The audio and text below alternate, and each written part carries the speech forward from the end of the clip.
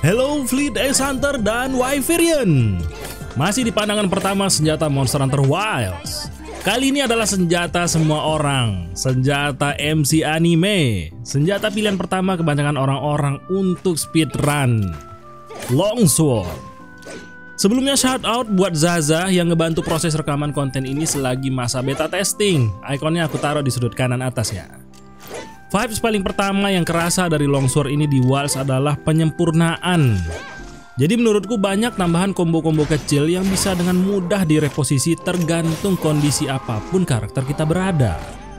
Bagian paling menarik adalah spirit charge teman-teman. Gerakannya keren dan bisa sambil gerak lepasin combo yang cepet ngisi spirit bar pedang kita. Dari situ kebuka pintu berikutnya yang nunjukin potensi asli dari senjata ini. Gox! Gabungan dari Spirit Trust, Spirit Helm Breaker, sampai gerakan finisher Spirit Release Slash-nya. Bener-bener karakter anime nih jadinya nih. Apalagi kita juga nggak kehilangan Spirit Bar kalau meleset nih. Makin dimanjain senjatanya.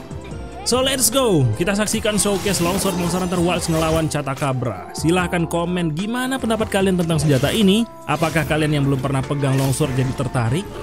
Terima kasih sudah menonton, sampai jumpa di video pandangan pertama yang lainnya teman-teman.